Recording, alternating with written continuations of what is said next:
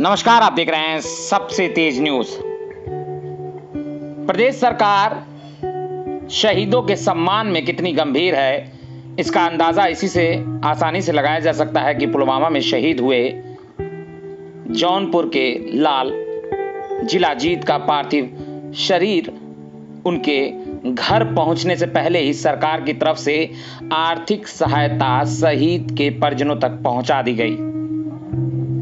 गुरुवार देर रात ज़िले के प्रभारी मंत्री उपेंद्र तिवारी, सांसद बीपी सरोज के साथ साथ विधायक हरेंद्र सिंह जिला अध्यक्ष रमेश सिंह, पुष्पराज सिंह और जिला प्रशासन के साथ शहीद जिला जीत के जौनपुर के इजरी बहादुरपुर स्थित आवास पहुँचे। जहाँ प्रभारी मंत्री ने शहीद के परिजनों से बात की और उन्हें ढाढ़स दिया। प्रभारी मंत्री ने मुख्यमंत्री द्वारा दिए गए आर्थिक सहायता के चेक शहीद की पत्नी को दिया। मीडिया से बात करते हुए प्रभारी मंत्री उपेंद्र तिवारी ने कहा कि सरकार सदैव शहीद परिवार के साथ खड़ी है। सरकार की तरफ़ से 50 लाख रुपए परिवार के एक सदस्य को नौकरी और गाँव के संपर्क मार्ग को शहीद के नाम पर रखने के साथ साथ शहीद स्मारक भी बनवाया जाएगा। प्रभारी मंत्री ने बताया कि शहीद का शव वाराणसी आ चुका है और सुबह घर आएगा, जिसके बाद पूरे सम्मान के साथ उनका अंतिम संस्कार किया जाएगा। आपको बता दें, पुलवामा में जौनपुर के लाल जिला जीत आतंकवादियों से लोहा लेते हुए शहीद हुए। उनकी शहादत पर जहाँ जौनपुर ही नहीं, पूरा देश उन्हें सलाम कर रहा है। सबसे तेज न्यूज़ भी उन्हें सलाम करता है उनकी इस बहादुरी के लिए। और उनके परिवार के प्रति शोक संवेदना व्यक्त करता है। आप देख रहे हैं जौनपुर से सुशील तिवारी की रिपोर्ट।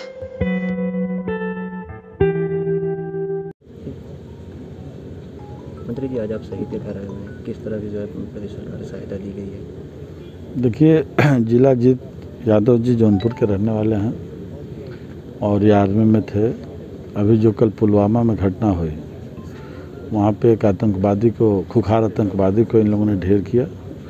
उसी में ये शहीद हो गए। यह निश्चित रूप से जौनपुर नहीं, उत्तर प्रदेश नहीं, पूरे देश का बहुत नुकसान हुआ और शिलाजीत जी अपने लिए नहीं, जिलाजीत जी पूरे देश के लिए।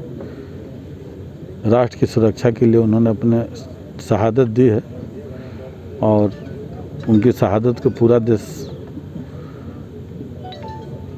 याद रखेगा हमेशा के लिए।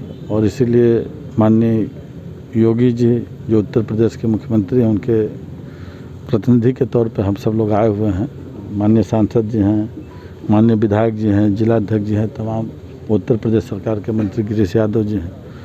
सभी संगठन के तमाम वरिष्ठ नेतागण हम सब लोग आए हुए हैं। और जो घटनाक्रम हुई है, इसकी तो भरपाई हो नहीं सकती।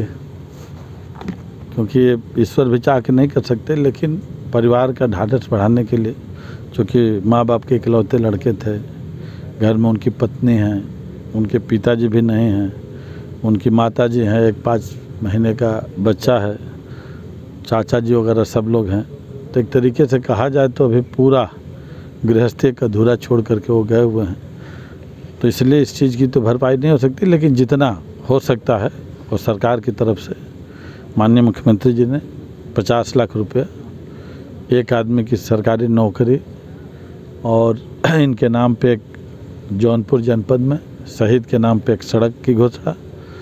इनके लिए स्मारक स्थल गाँव में, चूँकि ग्रामीण लोगों की डिमांड थी तो स्मारक स्थल बनाने की बात और उनके नाम पे मुख्य मार्ग से जब भीतर आएँगे तो एक गेट बनाने की बात हुई है। ये सारी चीज़ें उत्तर प्रदेश सरकार की तरफ़ से होगी और इस पूरे शहीद के परिवार के साथ पूरा शासन प्रशासन और पूरी सरकार मोदी जी से लेकर के योगी जी और हम सब लोग पूरे परिवार के साथ हर दुख सुख में शरीक हैं और जितना भी हर संभव मदद हो सकेगा हम लोग करने के लिए तैयार हैं। मंत्री जी परिजनों को इंतज़ार है कि पार्थिव शरीर कब तक आएगा क्या कुछ?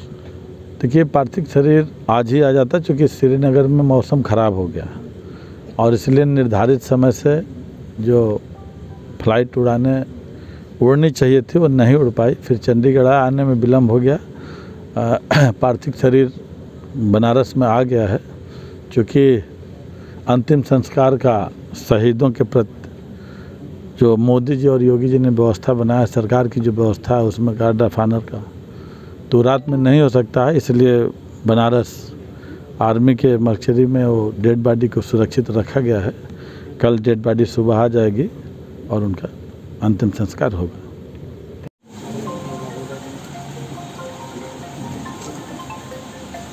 मदर जी आप गिरीश यादव जी हैं। आप हरिंदर जी हैं विधायक सांसद हैं। हम लोग आए हुए हैं। मैंने आप चिंता न करें।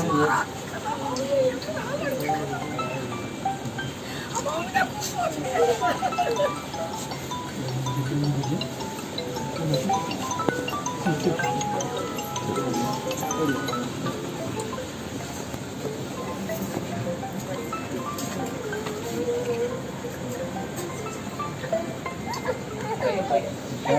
ऐसी घटना हो गई कि ईश्वर चाहते इसकी भरपाई नहीं कर सकते क्योंकि देश की सीमा की सरहद पर देश की सुरक्षा किए थे ये हम सबके लिए गर्व की बात है पूरे देश के लिए गर्व की बात है और आपके लिए भी गर्व की बात है और आपके लिए भी कि आप अपने कोख से इतने बहादुर बेटा को पैदा किया कि पूरा देश गर्व कर रहा है।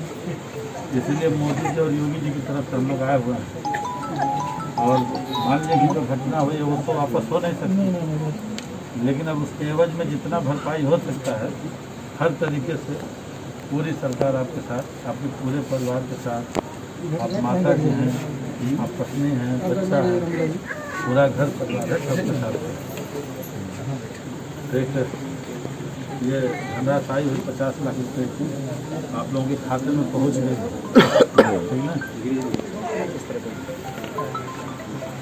ठीक है मैं एक ही एक ही एक ही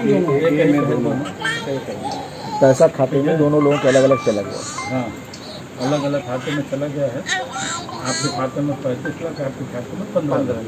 पचास टोटल पचास लाख रुपए गया हुआ है। और एक सरकारी नौकरी मिलेगी उत्तर प्रदेश सरकार द्वारा। जो वहाँ है उसके एवज में वहाँ तो मिलेगी यहाँ से भी मिलेगी।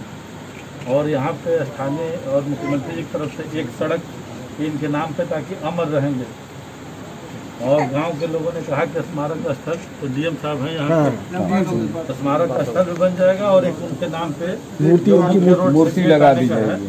तो वहाँ से गेट भी लग जाएगा। और इसके अलावा जहाँ पे ज़रूरत होगी माननीय विधायक जी हैं माननीय सांसद जी हैं माननीय मंत्री जी हैं, जिलाध्यक्ष जी, डीएम साहब हम लोग हैं। पूरी सरकार सब लोग, आपके और आपके पूरे परिवार के साथ जहाँ कोई दिक्कत होगी हम सब लोग हैं। और इसलिए हिम्मत से काम लेना है, बहादुरी से काम लेना है। और गर्व के साथ उन्होंने अपने लिए नहीं, देश की सीमा की सरहद पे देश के लिए उन्होंने अपने प्राण की आहुति दी है। ये हम सबके लिए गर्व की बात है। यही आग्रह है यही हम लोग गिनती करने के लिए आए